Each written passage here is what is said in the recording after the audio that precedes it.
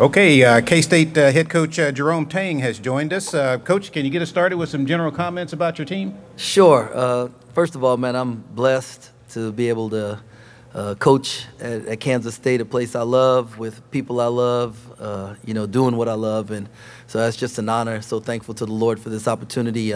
second thing I want to do is wish Scott Drew a happy birthday. And uh, um, you know, so if y'all see him, it's his birthday. Make a big deal about it. It'll it'll, it'll drive him crazy. And uh, and then uh, thirdly, about my team, uh, just super excited about these guys, man. Uh, pretty much a new roster. We have three guys back. Thankful for David N'Guessan. when a young man spends three years with you in this day and age, it means that you're doing a little something right, and and that that he's really enjoying his time. So thankful for his leadership and uh, the guys we have in, man, just, just terrific young men. They're passionate about the game of basketball, uh, a lot of versatility, uh, better shooting and size. And so um, I've said a number of times they remind me of our uh, 2012 team when I was at Baylor um, with the size and then the, the, the, guard play. And so excited to see um, what can we, we can become. Okay, if you got a question, uh, let us get a wireless mic to you. Give us your name and your affiliation. Let's go over here to the left in the back. Kenneth Wilson, Special Olympics Kansas. So, with all the recent changes in the Big 12, including new teams joining the conference, how has that impacted your approach to the season in terms of competition, preparation, and maintaining the team's focus for your long term goals? Um, yeah, that, that's a great question. You know, we were, the Big 12 was the best conference in the country two years ago. And then uh, we added teams and one of the teams we added was the conference champion. And then we were the best conference in the country again last year, and uh, we added teams, and uh, you know one of the teams picked to win the national championship. And uh, we have five, for the first time in AP poll history, we have five teams in the top ten, and and so you can get caught up in that, or you can say, man, we just got to get better every day. And so our approach hasn't changed. We go one to zero every day and uh, try to get a little bit better and. Um, then at you know some point in time we have to face all those guys, uh, but that, that's a ways down the road, and we have a lot of basketball that we have to uh, improve on uh, before we get to that.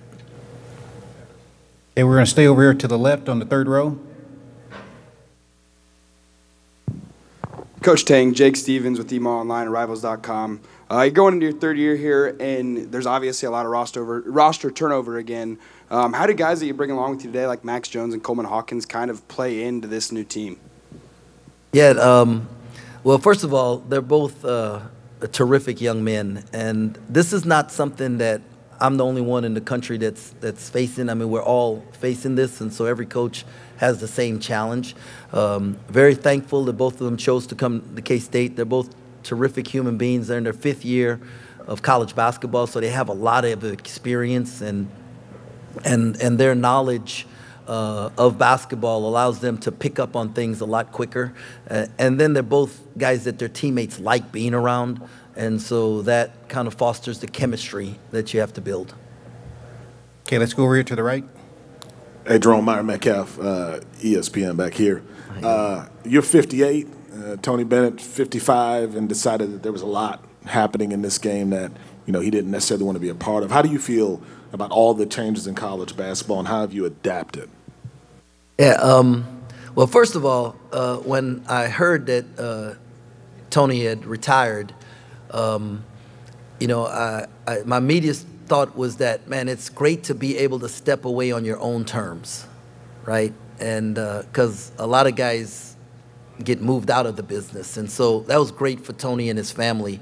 Uh, second thing is Tony's been a head coach for a long time, so he has, has a while to build up a, a, nest egg that allows him to, to do that. You know, uh, the Bible tells us that a good man leaves an inheritance for his children's children.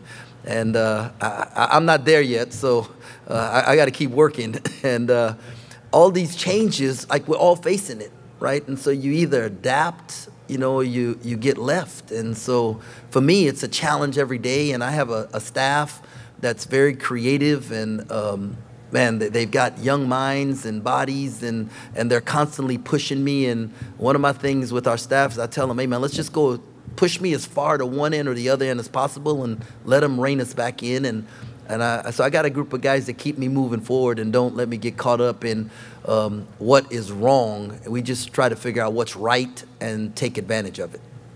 Okay, let's go to the third row over here on the left.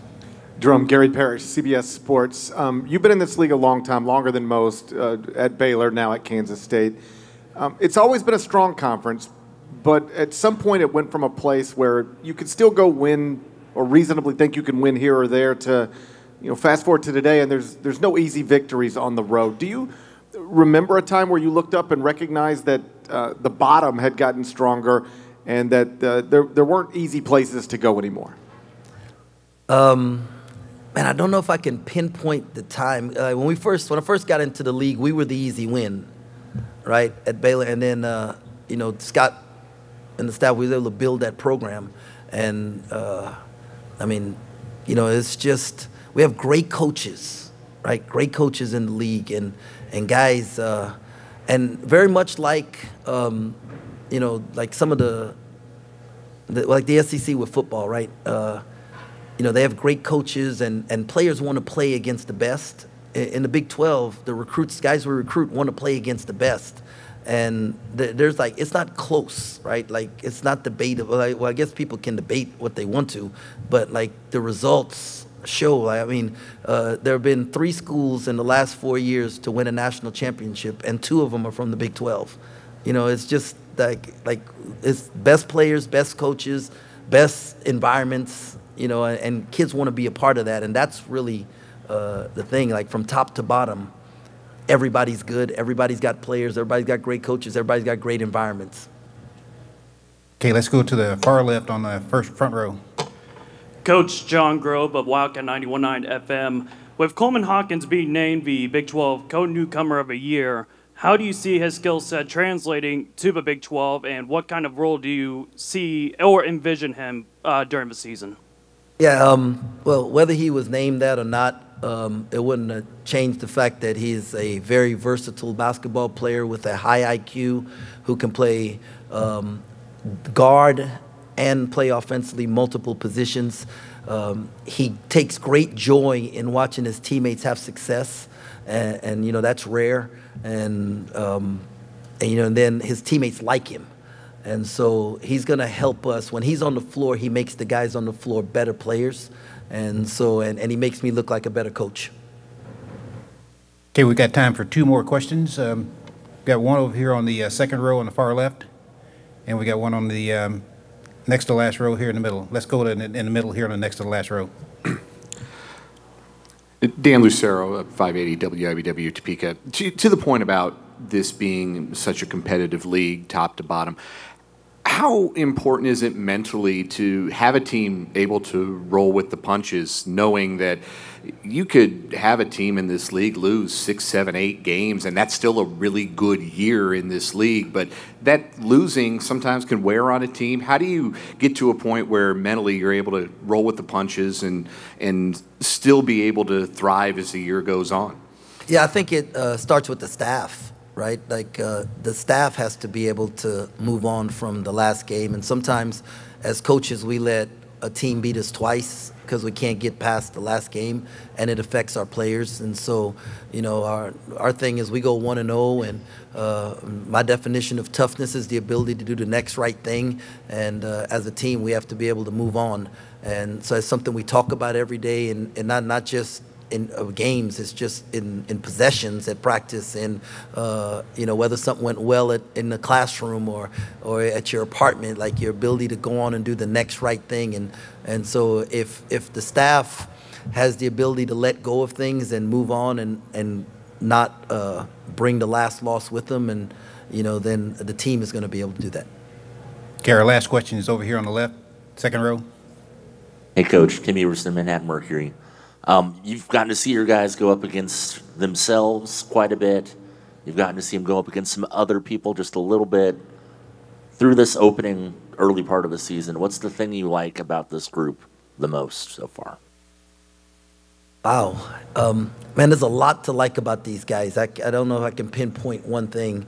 Um, what I've enjoyed is seeing them empty their cup and allow us to fill it. Um, we have a bunch of guys that have been coached by some really good coaches and been in some really good programs and had success. And so sometimes you bring all that with you and think that's the way, the only way to have success. And in the game of basketball, there's a lot of ways to get to four. And uh, I've been so pleased that our guys have been willing to empty their cup and let us fill it and, and realize that the, the way we do it will allow them to have success also and, and see the buy-in that's taking place. Okay, Coach, thank you very much. Thank you guys very much. Go Cats.